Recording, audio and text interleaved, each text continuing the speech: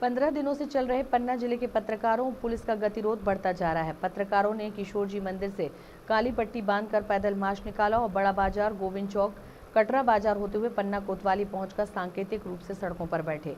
जिसके बाद थाना प्रभारी रोहित मिश्रा और एसडीओपी पन्ना ने मौके पर पहुंचकर गिरफ्तारी पत्र लिया और पावती दी।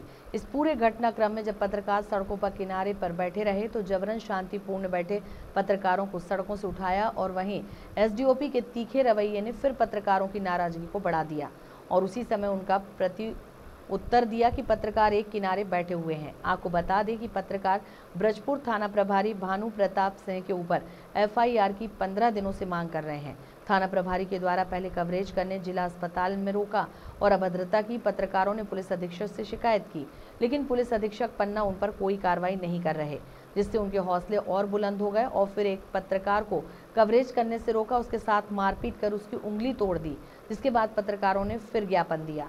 जिसमें ज़िले के सभी जनप्रतिनिधियों से लेकर अधिकारियों को जानकारी दी और थाना प्रभारी के लगातार इस व्यवहार की जानकारी दी। लेकिन उसके बाद भी भानु प्रताप सिंह को ज़िले के साइबर सेल में पदस्थ कर दिया गया और पत्रकारों को दोबारा झूठा आश्वासन बस दिया गया। जिससे पीड़ित पत्रकारों ने सैकड़ों की संख्या में ज़िले के सभी पत्रकार शामिल हुए और गिरफ्तारी दी और आगामी योजना की रणनीति तय की और कहा कि जब तक थाना प्रभारी पर मामला दर्ज नहीं होता, तब तक आंदोलन जारी रहेगा